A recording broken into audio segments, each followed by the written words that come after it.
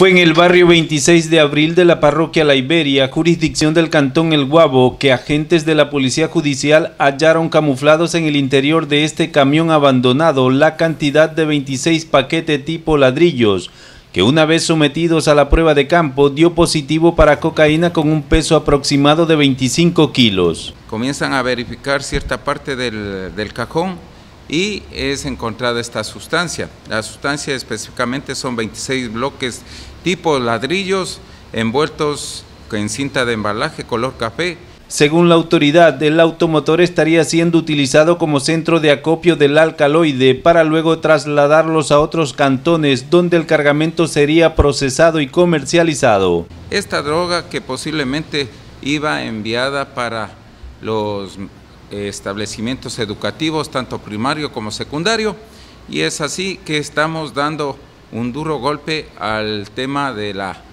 de la venta, del expendio de este microtráfico en la provincia del Oro.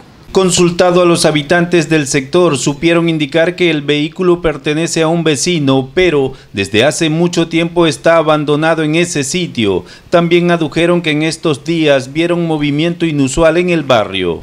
Ayer estaban unos cuatro jóvenes ahí, hablando, eh, salió la señora ahí como que querían comprarle, ni siquiera, pero yo creo que iba a pedir muy caro, no, no hicieron nada, yo creo que la señora se fue nomás. El decomiso no dejó detenidos, pero sí preocupación en las autoridades que ven cómo los narcos se las ingenian buscando maneras de introducir la sustancia sujeta a fiscalización al mercado de consumo.